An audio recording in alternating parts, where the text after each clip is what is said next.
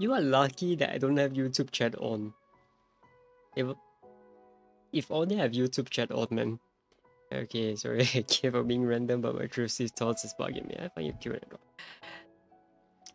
Speaking, let me just tell you this. Uh, let me just tell you this. You're not the first person that said that. Sadly speaking. You're not the first. Sorry, let, let me be specific. Yeah, Because the first one could imply it, girl. So you are, you are the not the first guy that said it. Sadly speaking. I think throughout my time, I have heard that phrase. oh, Sorry, not that phrase. I have heard those two words. Um, I think multiple times from like people of different ages. But yeah, thank thank you for the compliment. Um, although it's a very intrusive thought, but I'm very chill with these type of things. I remember the first time I I've heard of such compliment, right? Because I, I used to have a friend that is gay. But I didn't know he was gay at the time when he complimented me. I was very confused. But of course, I was like, insanely young back then. I was like 13, 14 then. And um, I was like, okay, like, it was a bit weird. Then after that, um, he finally came out as gay. Right?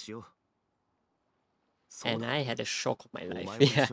Yeah, yeah, exactly. Yeah, yeah. I had a shock of my life. I was like, wait, so that, so that, that, that dude had feelings for me, and I was like, oh boy, this is complicated, man. Like, I would treat him as a friend, definitely. Like, I don't give a shit. He's my friend. I would treat him as a friend, but uh, I think. It was too much for him to handle so well.